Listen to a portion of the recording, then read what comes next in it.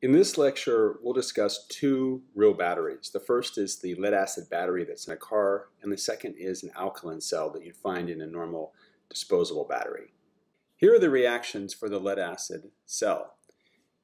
Now what we're going to do is figure out which of these is the anode and which is the cathode, and use oxidation numbers to figure out how many electrons are transferred for those two reactions. Pause the video now and figure out what the oxidation numbers for lead is in both of these reactions and use that to figure out which is the cathode, which is the anode, and how many electrons are transferred in each half cell.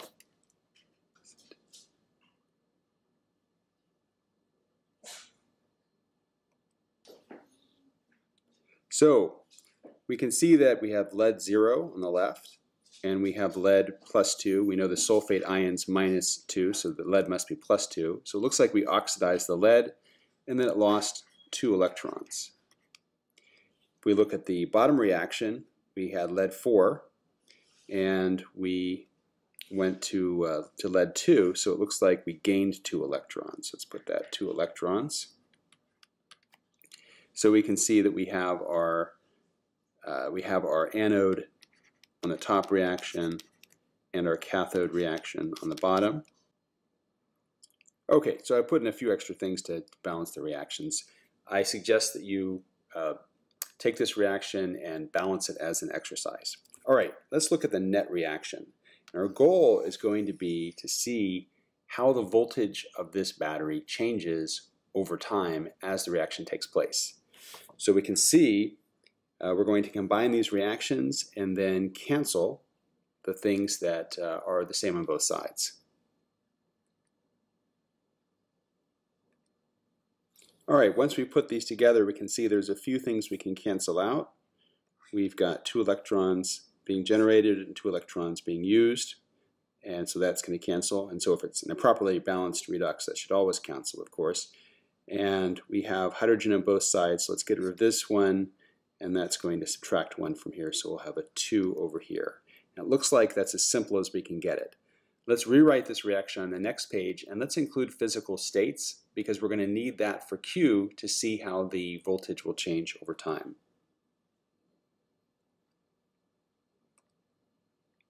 Okay, so we can see the net effect is that we're going to be oxidizing lead, reducing lead 4 oxide, in both cases making lead sulfate, and we're generating some water and getting rid of our electrolyte. So let's write Q for this. So you're going to need Q for the Nernst equation to see how the voltage varies with composition and hence with time. Take a few seconds, pause the video, and write out the expression for Q.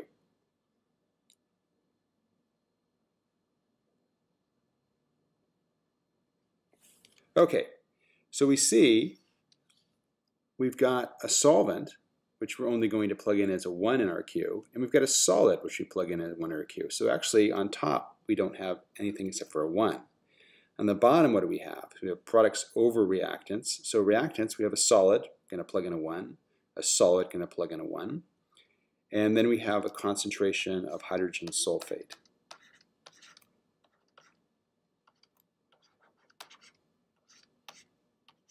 And we have to square that. And then we've got the concentration of hydrogen ion. And that has to be cubed. So there's our Q. So let's look at how that affects how the voltage varies over time. The voltage is going to be the standard voltage for this cell, which is about 2 volts, minus RT over NF log of Q. So we know, let's go ahead and write that this is about 2 volts. So this explains, by the way, why a fully charged car battery is around 12 volts, because you have six of these cells in a car battery. Okay, so what happens to the voltage over time? So write Q as a function of T. We know over time we're going to create more products and we're going to use up our reactants. So I want you to pause for a second and think about what's going to happen with Q over time. If it's going to go up, if it's going to go down, if it's going to stay the same. Pause the video and write down your answer.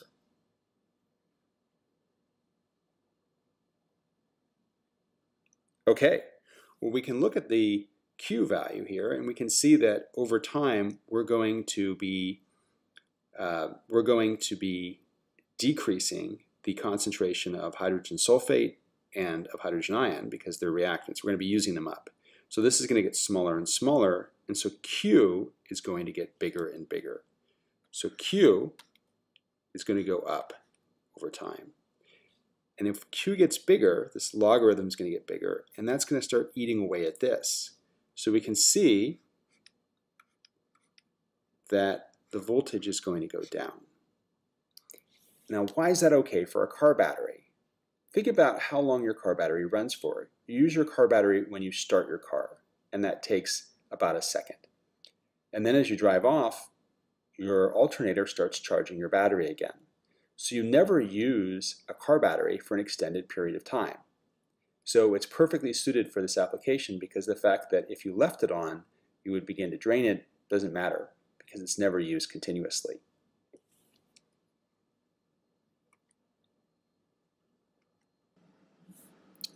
Here are the two reactions for an alkaline cell.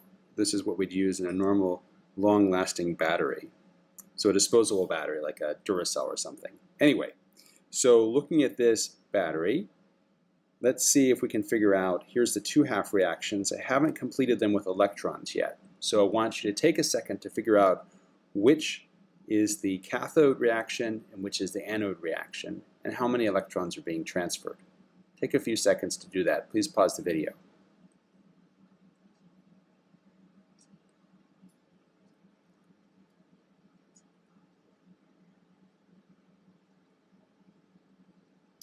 Okay, so we can see we have zinc 0 here going to zinc plus 2. So it looks like the zinc lost 2 electrons.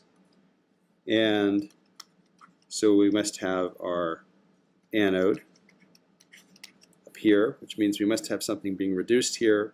If we look at our manganese, we've got manganese 4.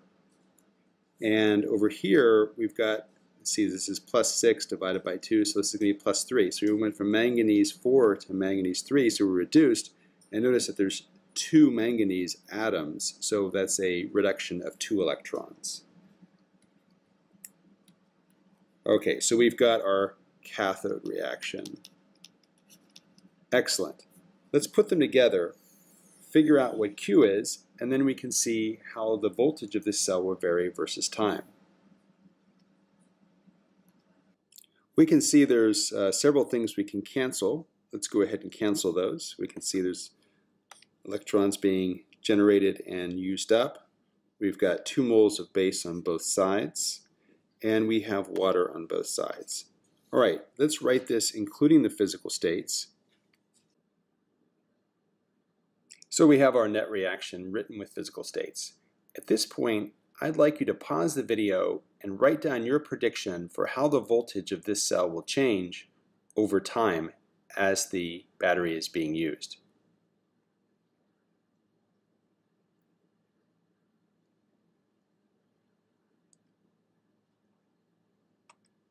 So we can see that since all the products and reactants are solids, Q for this is going to be equal to 1.